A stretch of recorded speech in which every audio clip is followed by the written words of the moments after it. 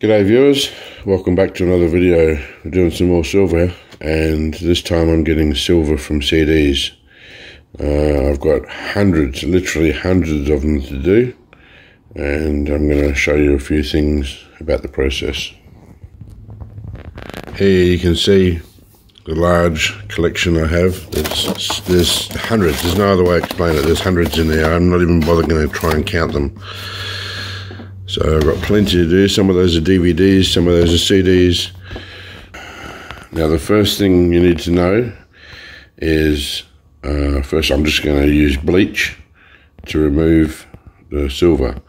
Now although uh, bleach is not really a nasty acid, it still may cause skin problems for some people. And whenever dealing with anything, you should always use gloves. So I've got a packet of gloves. Please, if you're going to do this or any acids, please cover up. Make sure you use your gloves. Secondly, uh, when CDs were new, when they first came out, they were one layer, just a single piece of uh, whatever the CDs are made of. Silver on one side and then the image on the other side. However, as times have gone on, and I think it's due to uh, make the CD more protected, there's actually a dual layer, two layers of, uh, let's say polycarbonate. I don't, I don't know what it's made of, but let's just say this polycarbonate. Um, so you need to separate the two layers. I'll give you an example. This particular CD has been in the bleach now for over half an hour, and there's no change to the to the CD at all. This is water, so rinsing water. Now,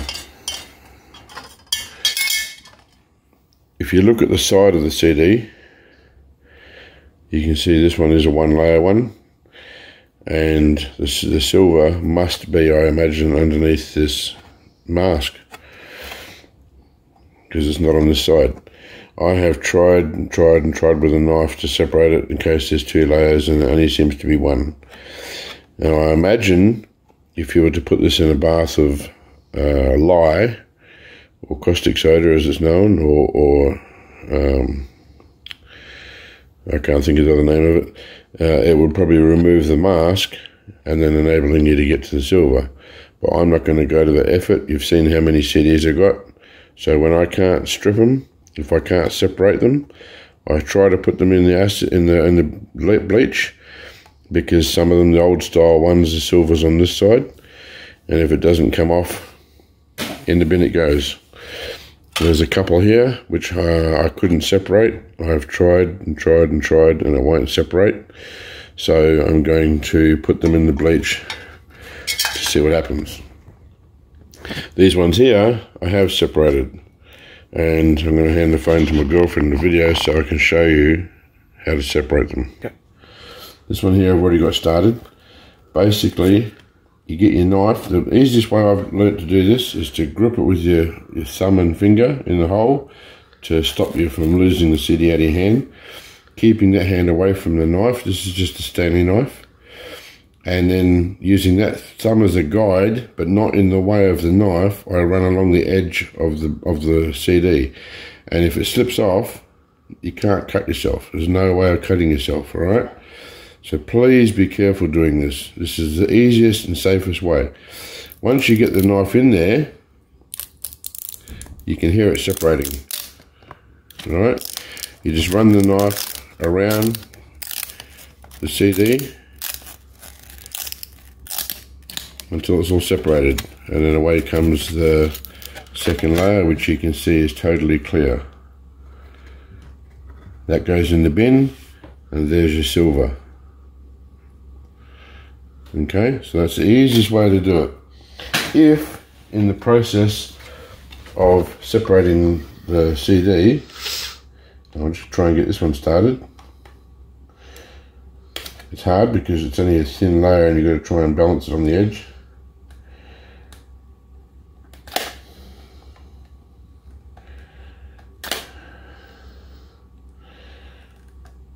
Sometimes you knack it straight away and other times it just won't it won't work.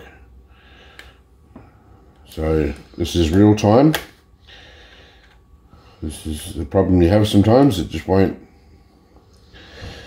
get into the middle no matter what you do. So that one will go in the bin. I have another one. I should have had two prepared, but uh, doesn't matter.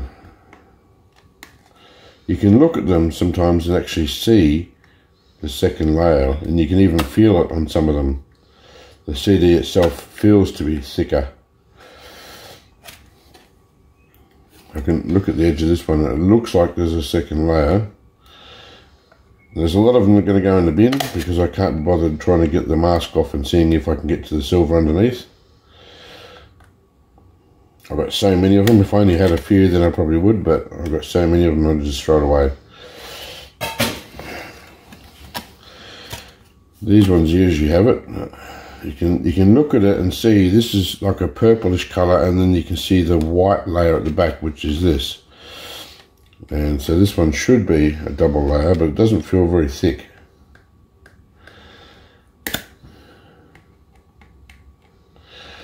There you go.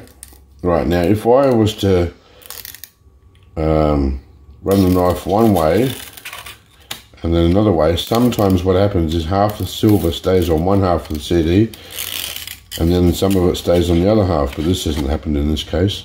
I'll show you one in a minute that has. So generally I try to keep the knife in one direction, so I run it on an angle against the, the one side and just run it around to make sure that all the silver stays on one side. That way I can throw this away. An example of one that hasn't have, hasn't done that is, if I can find one, here. So there's a clear section here. Now that part of silver stayed on the other on the other disc, which is here. Right, so I'll get these two out and show you. Right, so there's the part that's missing, and there's the silver that was on there. Whichever way it went like that. Okay, so in this case, some of the silver stayed on the second disc. Now, if there's only a little bit that stays on there, I'll generally just throw it away, but that's a nice little bit of silver, so I'll process that as well. So now, have a look at this disc here, and it looks like nothing's happened. So, again, I'm just going to throw this one away. I've got enough that I can afford to do that. This is one we know is going to work because I've separated the two layers. So I'll put that in there. Now it doesn't happen exactly straight away. It does take a little bit of time. This is new fresh bleach, so it will happen fairly quickly. So usually just a few minutes or so. Um, probably a, bit too long to show you in real time, so um, see if I can give you an example of what's happened so far. It's started to thin out. You probably can't see on the camera. started to thin out. So I'll just leave it there for a few minutes. Now, depending on the CD, depending on the thickness of the silver, it depends on how fast it happens. Um, I've had some that have stripped almost instantly, and I've had some that take a few minutes. If I pull it out now, you might see some difference you can almost see where there's patches that are missing off it. I'll leave it in there a bit longer. It just, I'll just drop them in there, leave it for a few minutes and come back to it. The reason I'm using the steel rod, or uh, glass rod, is because when these discs sit on the bottom, extremely hard to pick up again. Uh, whereas if I put the rod through the center like that, it allows it not sit flush on the bottom. You don't need to use a big beaker like this. You could use a, a narrow flat dish and that way you can easily pick them up. But I had these two beakers cleaned and from the last video and they're, they're here so I'm just going to use these.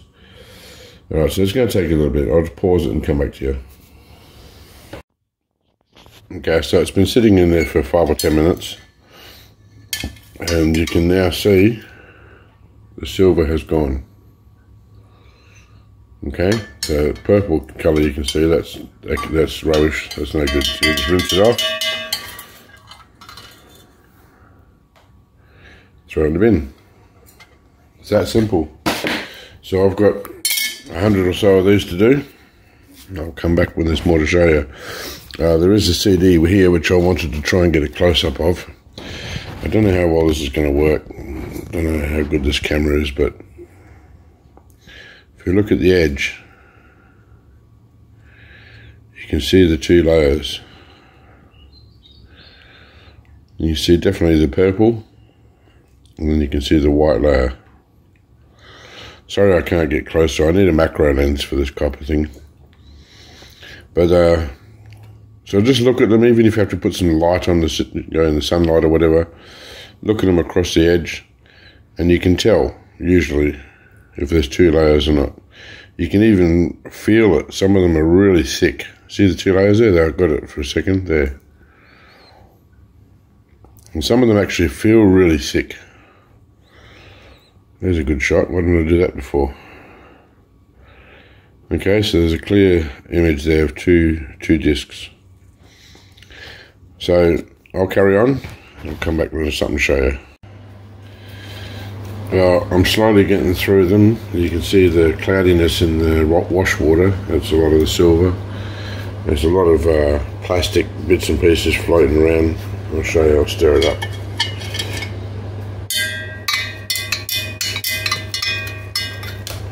Bits and pieces of uh, plastic come off the CDs, but that's okay, that'll all be burnt.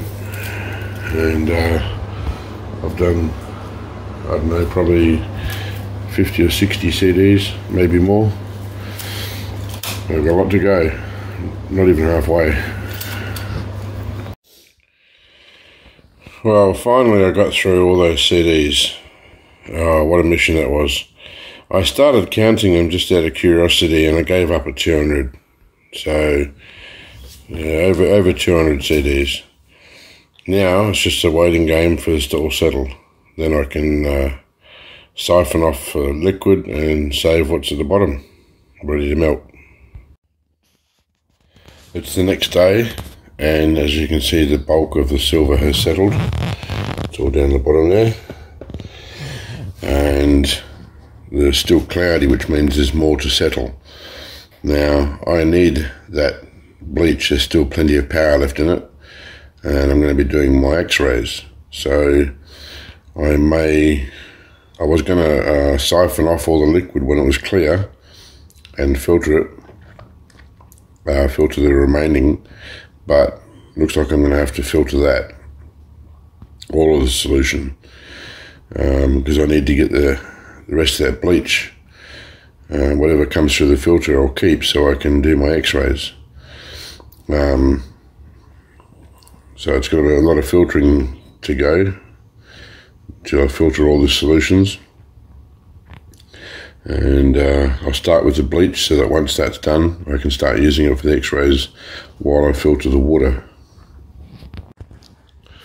Alright, so I've got three cotton balls in the filter, in the funnel there, and, and a filter on top.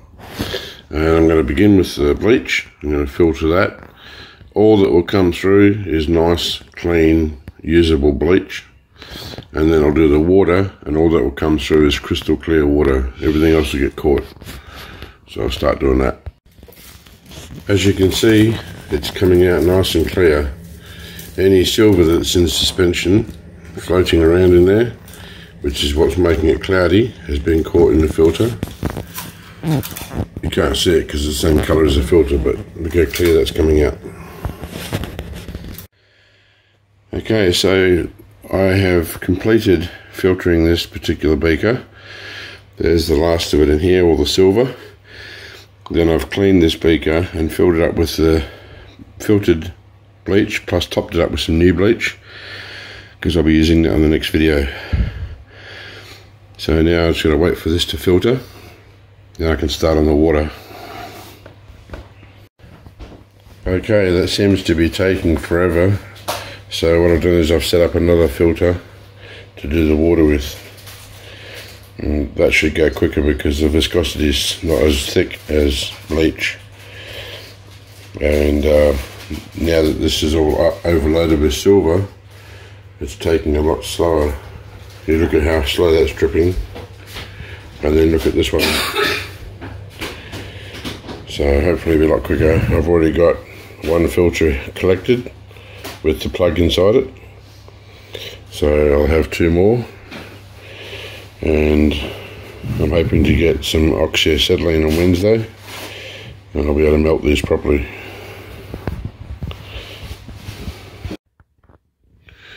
Finally, the last of the silver is filtering.